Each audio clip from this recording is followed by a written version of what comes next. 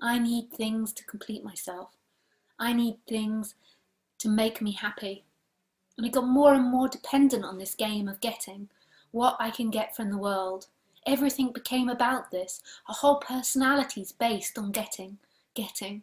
It doesn't know the difference between getting and love. Most people think that wanting someone, feeling the other completes them, is love. And in a way, in that moment of coming together, the whole seeking falls away and all there is is love. But that wanting of them is nothing to do with love. The wanting to keep someone, the wanting to attain someone, the wanting for them to be with you isn't love. It's this need, this separation, and this need to fill it. And you feel like this drug fills it in some way. You feel better with them around. And therefore, you hold on to them, you grab onto them. You try and strangle the life out of them to keep them. You kill it. You kill the whole relationship. Not just relationship, but in everything. In writing, in non duality, in it all. The seeker holds on to this idea of enlightenment and it's all about get, get, get, get. What can I take in for me? Me, me, me. And there's nothing wrong with that game. Of course, that game's going to happen. If you feel uncomfortable, of course, you're going to seek. And I'm happy now to talk about ways in which you can relax that seeking and you as a person can feel more balanced. But ultimately, there is no person there. Who you truly are is this awakeness, is this knowing of everything, which is totally empty and full at the same time. It knows it all. Actually, you could say the true source is even more mysterious than knowing, but knowing's pretty darn close. Pretty darn close. You like my American accent there?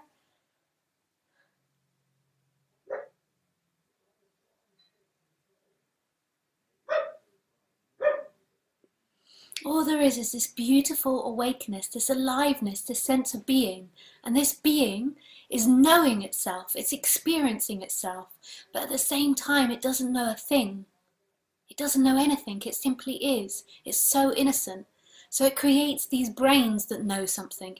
It creates these brains that understand, that think, that remember. But it inherently remembers nothing. It creates all of this to have this 3D multi interactive experience of itself. It even creates this sense of a person that feels like a me. But that is not who you are. You are not a person in moving time that is being experienced. All suffering comes from believing that energy that believes it's somebody moving in time.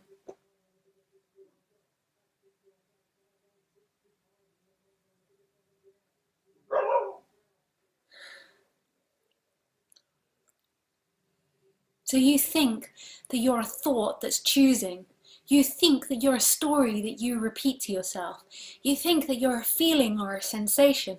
But all of that is being experienced just like the light, just like the room is being experienced. None of that is who you are. Who you are is that beingness which who you are is that aliveness, that beingness which knows it all. Something knows those feelings, something knows those thoughts, something knows those sensations. That's all known. So obviously that can't be who you are. It's so pure and brilliant. There is nothing in this world which is more you. The thoughts, the sensations, the ideas. While that belief is, that energy is there contracting it all, as if that's you, then suffering begins. Then you start believing you're someone in time and the other is someone in time and that you're in relationship and you're in relationship with this world. And you have to get things. You have to be a certain way. You have to understand what's happening. You have to understand the dynamics. You have to not argue. You have to be friendly. You have to be lovable.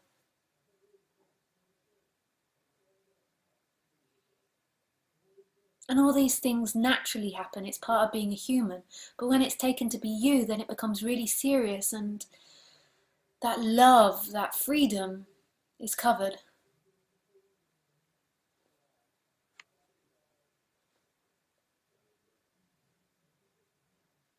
It's so wonderful. We are not these speaking things. This isn't a you speaking. This isn't a you hearing. This isn't a you looking. This isn't a you feeling. That is all that's happening. That's how life knows itself by all these things that are happening. But that life is so still, so empty, so vast, so boundless, never affected by a thing, never dies, never is hurt, never's injured. But yet in the dream, the human is. And that's got its sadness and that's got its emotionality with it and that's got all these dynamics with it. But that isn't you. You are never that person.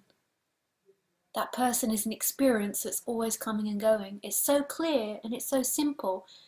And it really changes life radically when this awakens again. And there can be different forms of awakening. There can be the intellectual type, and there can be this massive energetic explosion where it stops being contained in here and then all there is is life experiencing itself it's really bizarre there's no boundary but yet it's looking through this particular body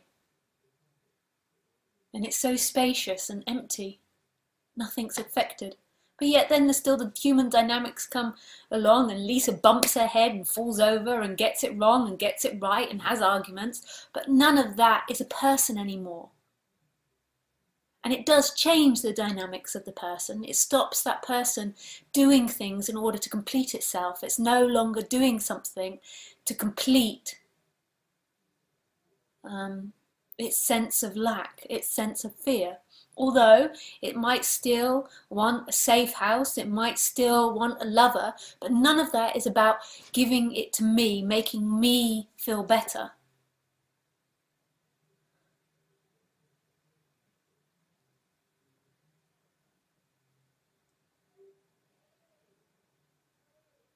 It's a totally different way of relating. But if you're identified, you won't be able to see it, or you'll see as yourself everywhere. And if you think you do see it, so if you're projecting it onto me, that's still just the way you think it is. There could be maybe a sense of it,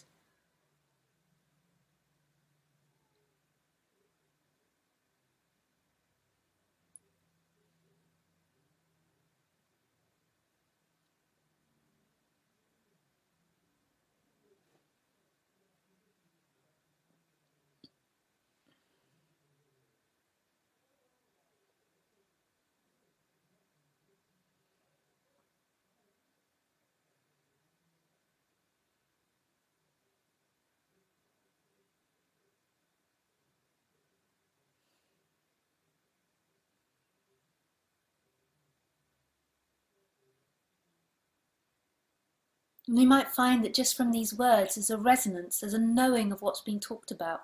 That you, as a small entity, are not the experiencer. There's something much greater and bigger here. It's so mundane and ordinary, but yet so spectacular and huge.